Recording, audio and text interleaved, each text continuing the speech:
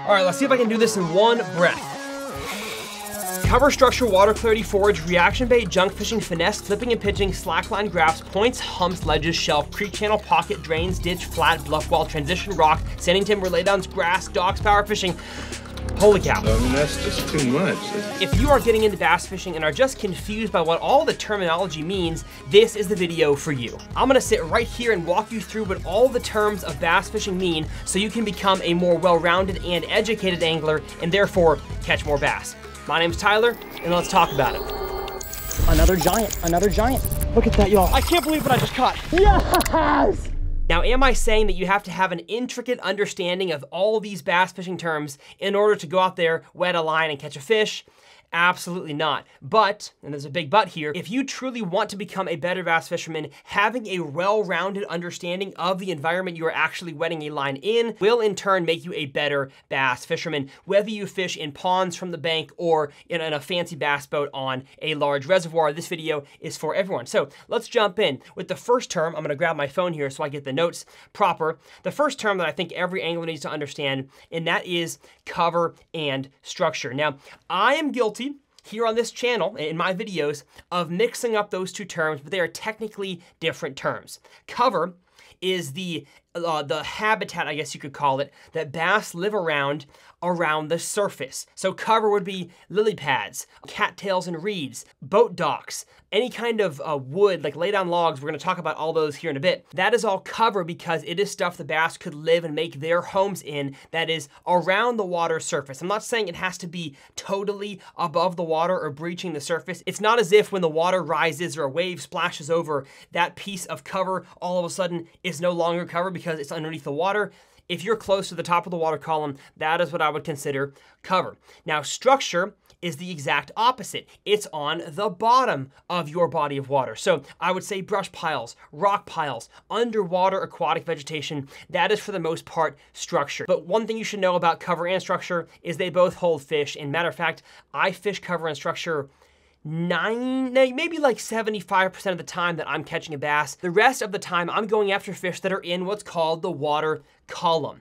Now, I've had several comments about this recently. I felt like it needed to be included in today's list. The column is just however much water you have from the surface to the bottom. So the water column could be six inches deep. It could be a foot deep, could be 450 feet deep in some lakes out there like Lake Tahoe. I mean, the water column is just that depth of water.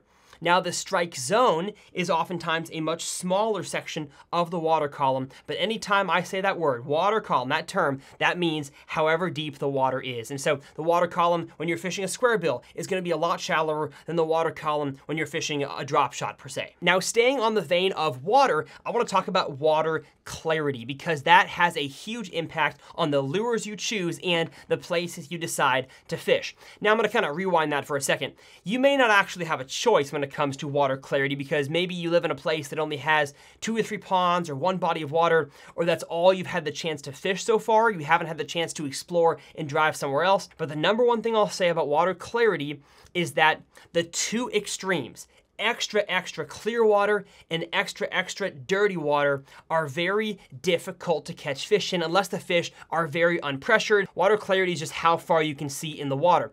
Now, water clarity is not just due to the amount of particles, the amount of dirt, the amount of stuff in the water.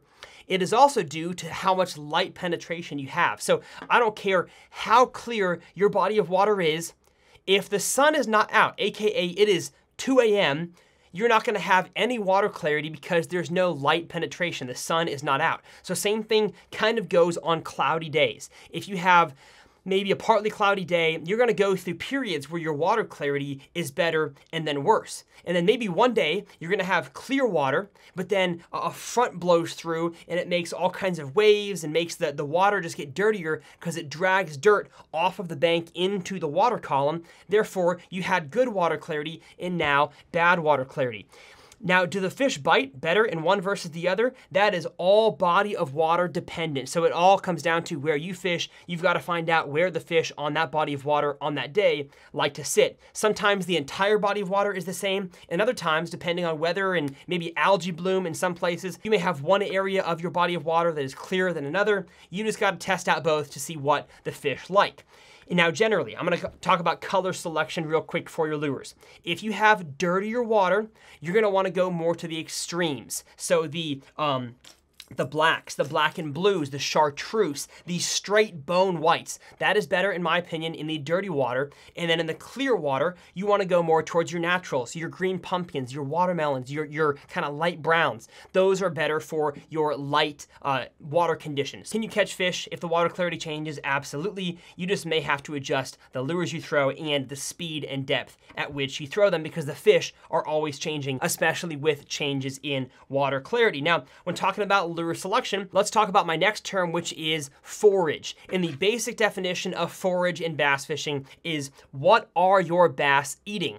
Are they eating bait fish? Are they eating bluegill? Are they eating crawfish? They could be eating a mixture of all those things, or they could be eating none of the above and they're in some weird body of water that has freshwater shrimp or freshwater jellyfish. Who knows? Their forage is what the bass are eating, and that's up to you to figure out what it is. Now, can you still catch fish on a lure that imitates something your bass are not eating. Of course, a bass is an opportunistic feeder. If it sees something that looks injured or it just feels like eating it or it triggers a reaction, we're gonna talk about reaction strikes here in a second, it's gonna eat it. And so if you have a crayfish eating bass and you put a bluegill imitation swim jig or a, a big shad, gizzard shad swim bait by it, is it gonna eat it? Potentially, but in my experience, it's best to try to know what the bass are eating in your body of water, and you may not know the first time you fish there. It may take many times and looking in the water, maybe setting out a bait trap to actually trap what kind of forage is down there in the body of water. I've done that before. By doing that, you'll have a better understanding of what the fish actually see, and it is almost always better to do what's called match the hatch. That means select your lure size, presentation, and color to as best as you can, uh, imitate what those bass are eating, and that is what forage is all about. And my next term is something I mentioned just a second ago, and that is the word reaction. I don't care where you fish, reaction baits can catch bass all over the country. Matter of fact, all over the world. And it's not like a reaction bait is just a bass fishing lure every type of fish can be reacted into eating. What that means, the fish is not in a feeding mood, but your lure goes by them in such a speed or with such a size or noise that they almost have no choice biologically but to turn and strike that lure. That is what a reaction strike means. Now, this is usually caused by a fast moving lure, which we're gonna talk about here in a second with reaction baits. Actually, you know what? I'll jump to that term right now. A reaction bait is a lure or a bait that is moved relatively fast. So, topwater plopper, reaction bait vibrating jig, reaction bait, Ned rig, not reaction bait. We're gonna talk about that here in a second, what category the Ned rig falls into. So you've got spinner baits, you've got crankbaits of, of both a lipless and the billed variety. This here's a Strike King Hybrid Hunter. All of those are in the moving bait, AKA the reaction bait category. Now you can retrieve them in a very slow way, where maybe in clear water, the fish can actually get a better look at your bait and eat it, not based on reaction, but based on actual feeding and predatory behavior.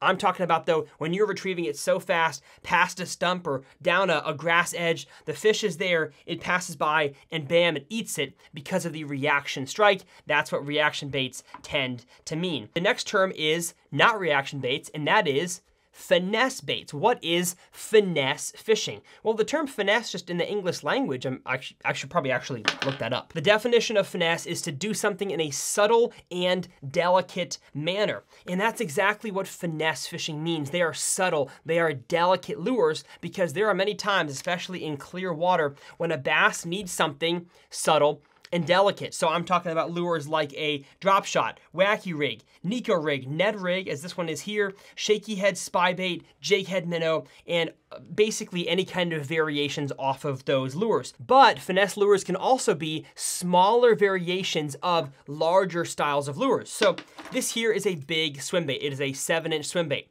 Is this a finesse lure?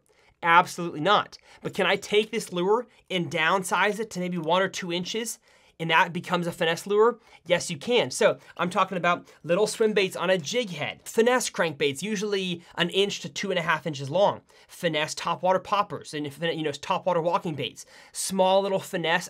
The one that comes to mind is the Bitsy jig, a small little jig. On one end you have finesse fishing, on the other end you have reaction bait fishing, and there are lots of lures that kind of can cross in between the two. Now the next bass fishing term actually uses finesse fishing and reaction bait kind of at the same time, and that is what I like to call junk fishing. And my definition for this is using the conditions and habitat types in front of you to constantly make decisions about what lure to throw and when. Now, in my opinion, only advanced to expert anglers can actually junk fish well, and the reason is because as you're going down the bank, again, bank fishing, kayak, bass boat, john boat, whatever, you are using, in this type of fishing, you are using your eyes and sometimes your electronics, forward-facing sonar, to make decisions constantly about, okay, that looks good for this lure. Up there, 50 yards from now, I see a dock. I could pick up this rod and skip it underneath there and use that lure. But then the bank changes from dock to actual rock and grass. And actually, it looks like it slopes out into a point. And so I could back off and throw a vibrating jig here and then a top water there. That is what junk fishing is all about. And if you don't have a good understanding of kind of, I'd say like 80% of bass fishing lure types and where they should go and how, and you've had experience doing that, junk fishing is going to be incredibly difficult and you're probably gonna end up throwing two to three lures all day. But if you understand how lures work and where they should work best, you can look, as I talked about, at the conditions and the habitat types in front of you, and you can make constant decisions. And when I say constant, I mean sometimes you're making like two casts with a rod, putting it down and picking another one up just for one flip or one cast that way, and then putting that rod down and picking up a third rod. Or you're switching lures with a clip extra fast to, again, to fit the conditions in front of you. I think junk fishing is one of the best skills you can possibly learn. Now, is it possible on every lake or every pond out there? No. Some of them are super monolithic. They look the exact same throughout the pond or the lake. But if you have a variety of cover structures and conditions on your body of water, junk fishing is something you need to learn to do. But of course, in order to do that, you have to learn the rest of the lure. So that is junk fishing. My next thing that, again, kind of has to do with junk fishing oftentimes is flipping and pitching. We use these terms interchangeably. They're technically not the same thing. Flipping is an old school technique where you grab the rod, you grab the line with your hand, you pull it, and you pendulum swing that lure and then let go with this hand. Grab the line, swing it, let go. Grab the line almost like you're fly fishing.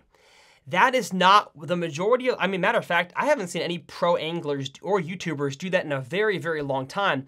The majority of the time, we are now doing just pitching, where you are using the pendulum swing of the rod, clicking the button on a bait caster or, or, or, opening the bail on a spinning rod, and you are, you I say flipping, you are pitching the bait out there. Now, you're, you're gonna hear me say flipping and pitching or just flipping. To me, the terminology I know is different from the techniques themselves, but I don't care, to be totally honest. I'm gonna keep saying flipping and pitching, even though they are different things. To me, I don't do any traditional flipping, I just do pitching but I'm gonna call it flipping because I don't care. Now, going along with all that is going to be the term power fishing. Power fishing and covering water are kind of synonymous. So when I say that in my videos, I'm talking about fishing stuff that's fast. So your crankbaits, your spinnerbaits, your vibrating jigs, or I would say skipping a jig under overhanging trees or underneath boat docks, as long as you're doing it relatively fast and not being ultra slow, ultra finesse with your presentations, that is going to fit into the power fishing category. You are just chunking and winding, chunking and winding, plugging away, casting at stuff you see with your eyes and or forward-facing sonar underneath the water. You're just going ultra fast, fishing whatever you see and hoping to pick up a few bites along the way. Power fishing, usually not the way to catch the biggest bass in your body of water, but it's definitely something to do if you want to, again, cover water with your lure as you work the bank, uh, you know, walk on the bank or in a bass boat or a kayak. Power fishing is a great way to just understand more about where the bass are in your body of water and catch a few along the way. Next term, we have slack line. And this is when your rod tip is not tight to your lure. Your, your line actually has some slack in it. I feel like it's a, it's a generally pretty easy definition, but if you don't do it correctly, you may lose out on a ton of fish because for the most part, I have found on lures like a jig, soft plastic, Texas rig, you want them to fall on a slack line, which means you cast out there, you peel out some line. That way when the bait hits the water, it can actually fall totally vertical.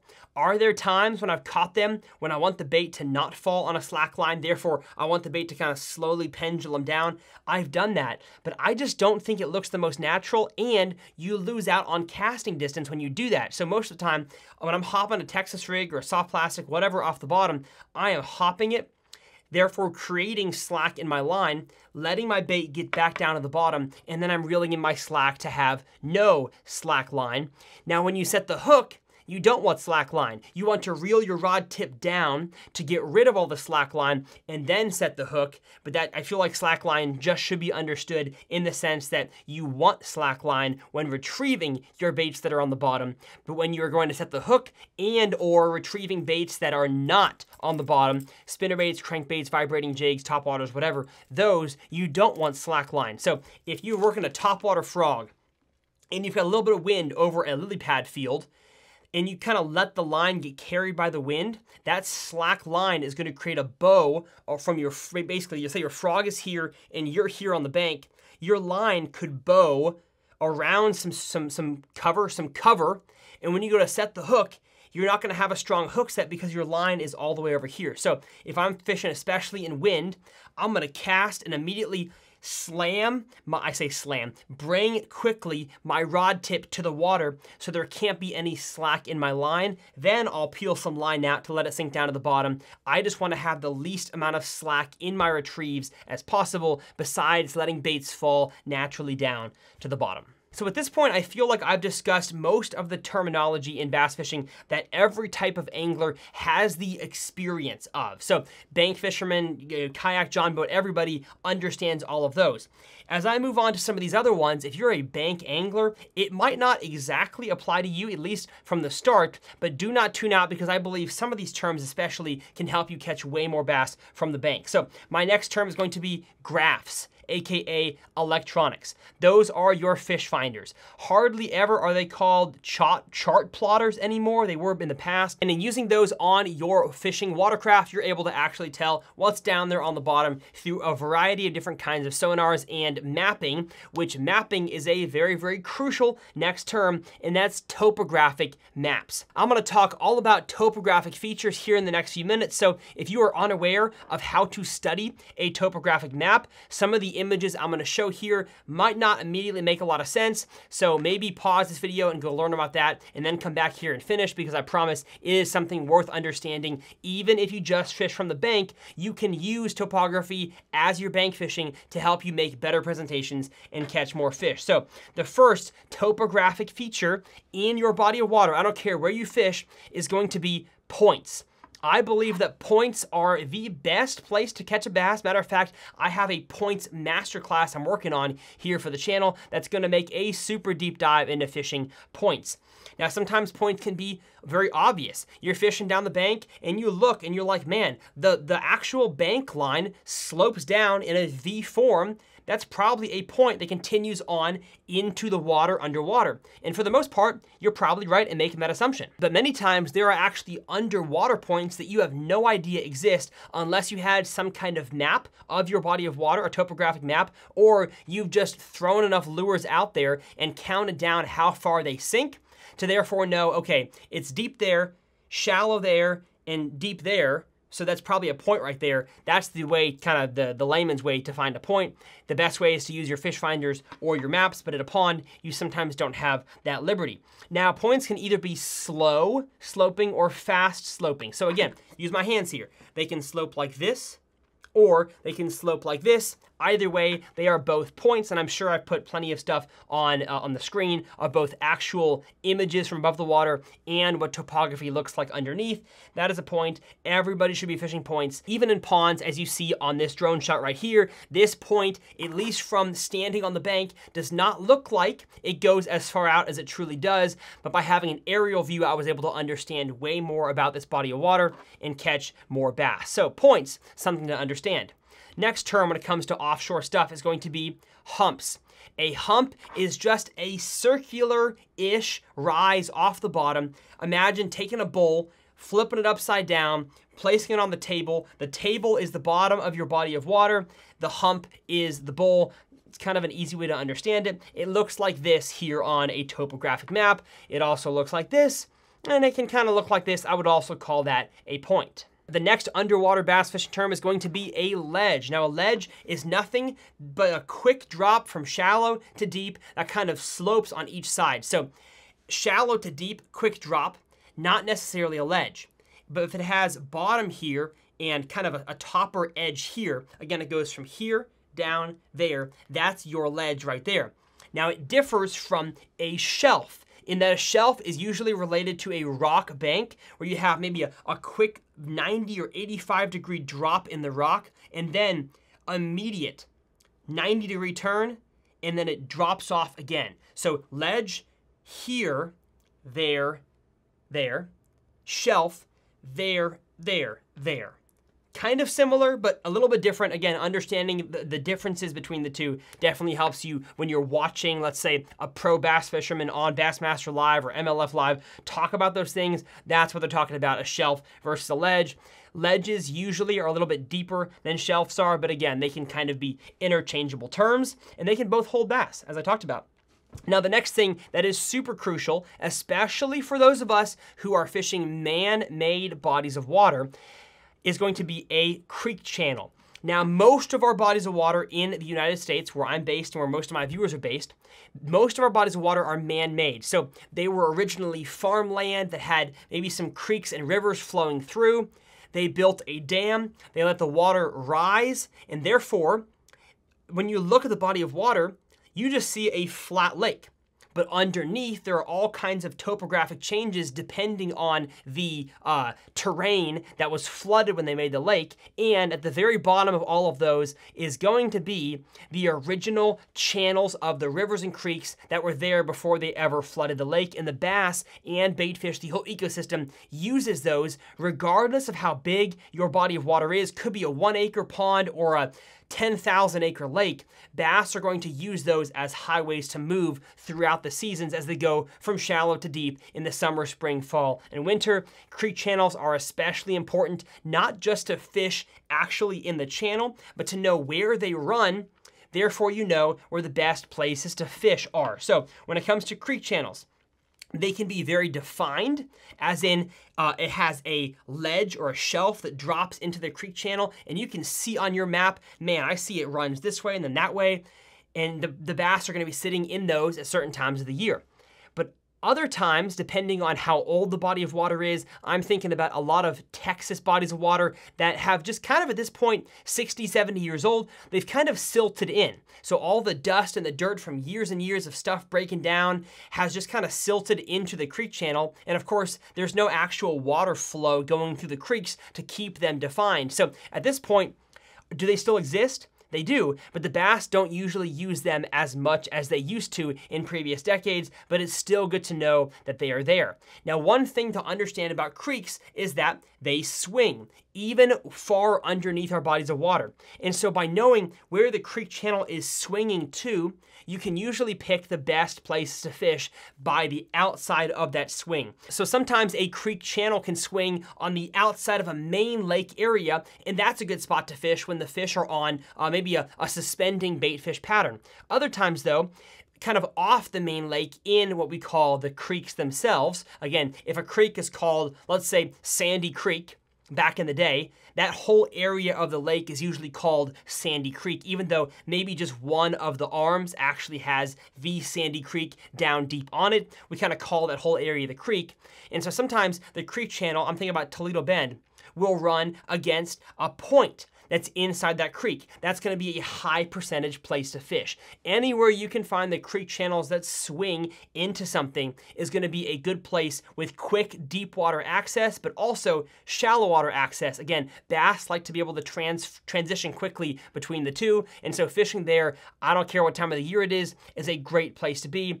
Now, if you're fishing a small body of water, you may not quite know where the original creek channel was before they flooded that thing, whether it's a, a neighborhood pond that may not have very defined creek channels, really if any at all, and small neighborhood lakes that may have small creek channels. But over time, by fishing with lures like crankbaits and jigs and Carolina rigs, you may be able to find the deep sections. And if you catch bass in a certain area where it looks like the water could be flowing in, that's probably the old creek right there, and you found yourself a creek channel. So again, I apologize if that was a little bit of a ramble, but creek channels are extra important. You got to know about them. The next thing is going to be pockets, also known as coves, depending on where you're from in the country, are little indentations in your body of water that you're fishing. They could be a little indentation off the main lake, as you see here, or they could be a small cut uh, inside of an actual creek itself. There's kind of some, again, some variance. What's a pocket? What's a creek? In my experience, if I can get my boat or my kayak in an area and fish it within less than an hour, it's probably a pocket that is a relatively small little cut, but bass love pockets, especially during the spawn. Now, the next thing that I was so confused about for many years in bass fishing that oftentimes coincides with the creek channel is a drain or a ditch. Those two terms are synonymous. What a drain or a ditch is, is the center line of a pocket. So something that sticks out from the main body of water there's going to be, hopefully, when the water floods in, a drain line where you can see fresh water coming in. Now, depending on the body of water you're on and kind of, again, the topography of the surrounding countryside, you may not have very defined actual wa water inflows when you have rain that comes in, but in most, I'm gonna say 90% of bodies of water, there's going to be places that form a drain. Just like a drainage ditch on land for uh, the, the side of the highway that directs where water flows to make sure it goes the right direction. Almost every lake, especially man-made reservoirs, will have drains and ditches that are usually one to 15 feet of water is where the water will have kind of formed a little ditch and fish, especially in the winter and pre-spawn and sometimes summertime, will sit inside or on top of those drains and ditches. And don't just think this is a bass boat on a lake thing. There are plenty of ponds out there that because of rainwater have drain and ditch areas and bass will oftentimes stack up in those areas. Now going far away from a drain or a ditch, the next thing is going to be a flat. And it's exactly what it sounds like it's a, it's a flat area underneath the water. It could be one foot deep, it could be 25 foot deep. It just has to be a relatively large, expansive area underneath the water that is totally flat. There is almost no topographic change. There's no ledges, no drop-offs, no shelves, no humps, no points. It is just a big flat area. In my experience, fishing flats is a very hero or zero way to fish. So you're not gonna have bass that are just littering a flat. I'm talking about every direction you cast, you catch a bass. That is hardly ever the case. Sometimes a grass flat is grass that's growing kind of to the same level on top of a flat that's underneath the water. That can actually hold bass kind of regardless where you cast, but there will be better casts, better areas to make. It's not just fishing over the whole thing and you catch bass over the whole thing. That is rare. But the biggest bass I've ever caught lived on flats, usually on some piece of structure on a flat. So maybe on the flat you have a brush pile, or on the flat you have a small little rock vein. I wouldn't really call it a point, or an underwater old road bed. Before, again, they flooded the lake. There was a road they used to run through there. Those are excellent places to fish because the entire flat has nothing and then there's something right there. The bluegill, the crappie, the baitfish, and therefore the bass love to sit on those things right there. So if you want to fish very high percentage pieces of structure, make sure to find them on flats. And the very opposite bass fishing term when it comes to flats is going to be bluff walls. Bluff walls can be anything from, I'd say, a 65 degree bank to a total 90, sometimes even an indentation bank. Let's call that like a little cliff edge uh, or a cave edge. Those are what's called bluff walls. And bass don't sit on these things all the time. That's mostly a summer or a winter thing, not a fall or a spring. Although I'd say fall more than spring. Bass are hardly ever on bluff walls in the spring. It's probably not worth your time. I'm comfortable coming out and saying that.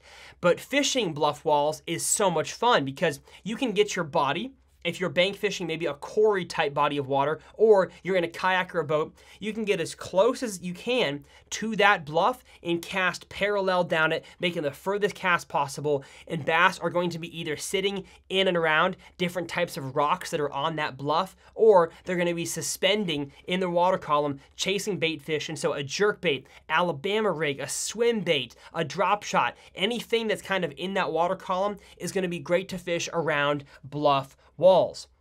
Now, something that changes with a bluff wall is called a bluff end. You see it here on the screen. It's where the bluff wall ends. Now, why, Tyler, do bass like to sit on bluff ends?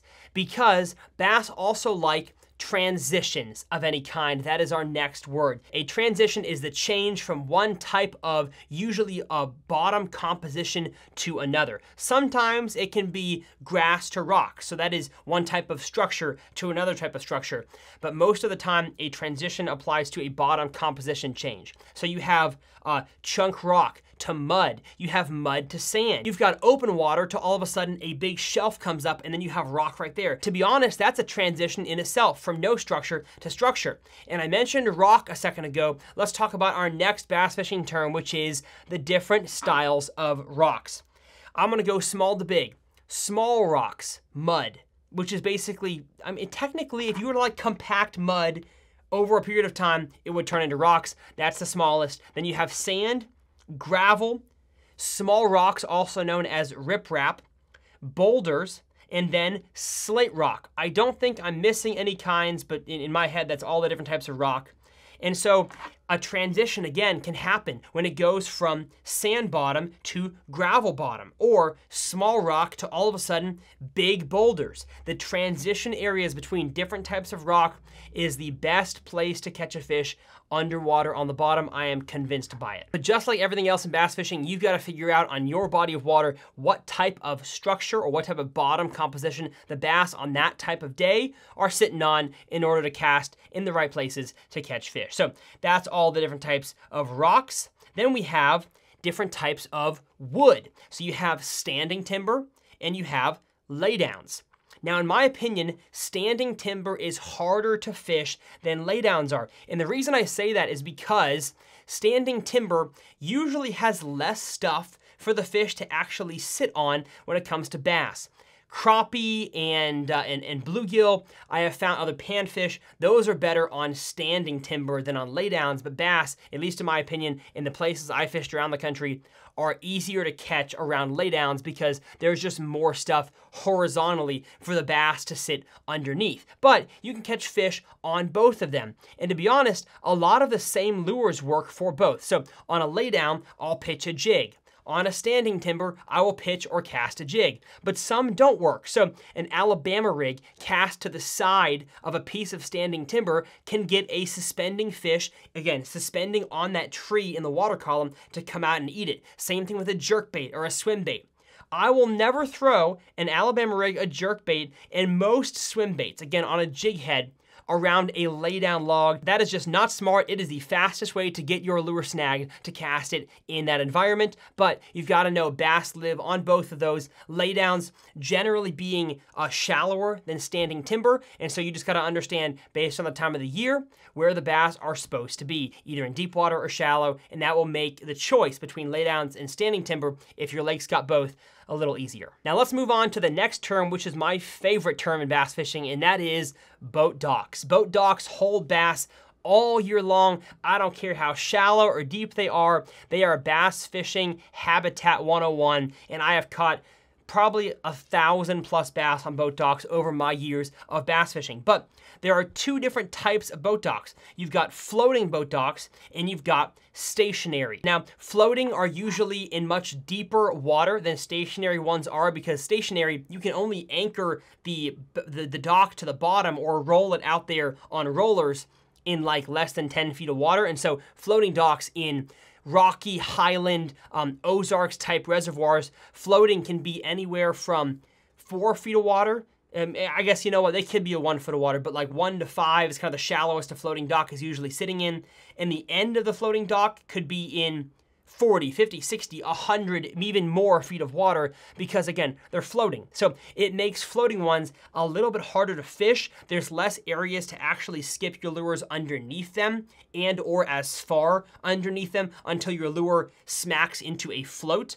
And then skipping underneath where a boat is sitting is just dangerous. I wouldn't recommend it. And so stationary boat docks, in my opinion, are the ones that are more fun to fish. They hold more bass because bass are generally wanting to be a shallow water creature and stationary docks are in shallower water. And so therefore stationary docks are gonna hold more bass. Now, floating docks, Lures like swim baits and flukes and drop shots, maybe finesse jigs, are great ones to throw around the edge and underneath the stairs of, of floating docks. But stationary docks have a much larger range of lures you can throw.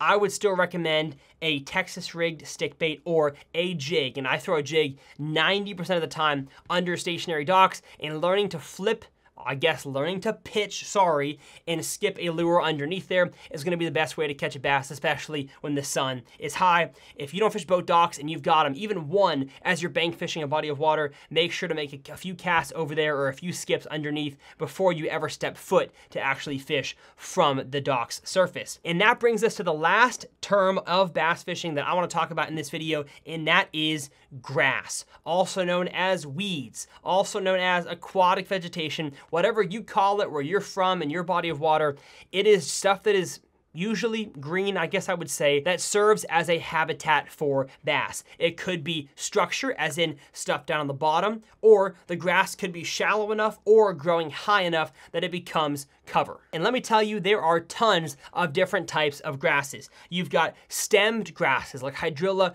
coontail, milfoil, the list goes on, and you've got leafy grasses like American pondweed, eelgrass, and I guess lily pads, even though those might not technically be a leafy grass per se, I'm gonna throw them in that category of leafy grasses. Which one do I like to fish around more? Sometimes I don't have a choice. I would rather though fish around stemmed grasses. They are easier to get your lures out of than leafy grasses, but they can all hold bass and they all have topography in themselves. So grass will have edges, it'll have depressions, it'll have big holes where there's actually no no grass growing in the entire hole. Through that hole is the bottom of your body of water.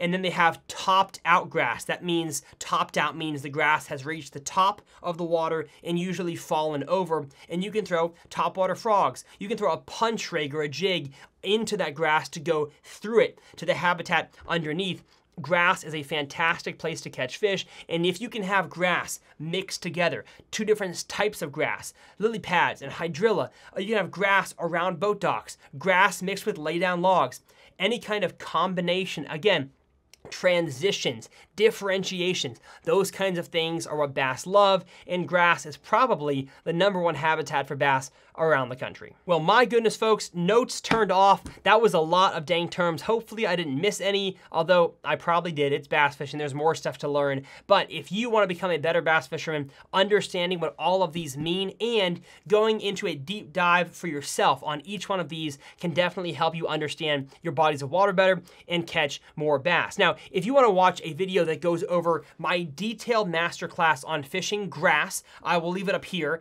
and a detailed masterclass class on actually selecting the right color of your lure. I'll leave that over here. My name's Tyler. As always, it's a pleasure, and we'll see you guys next time right here on TRF.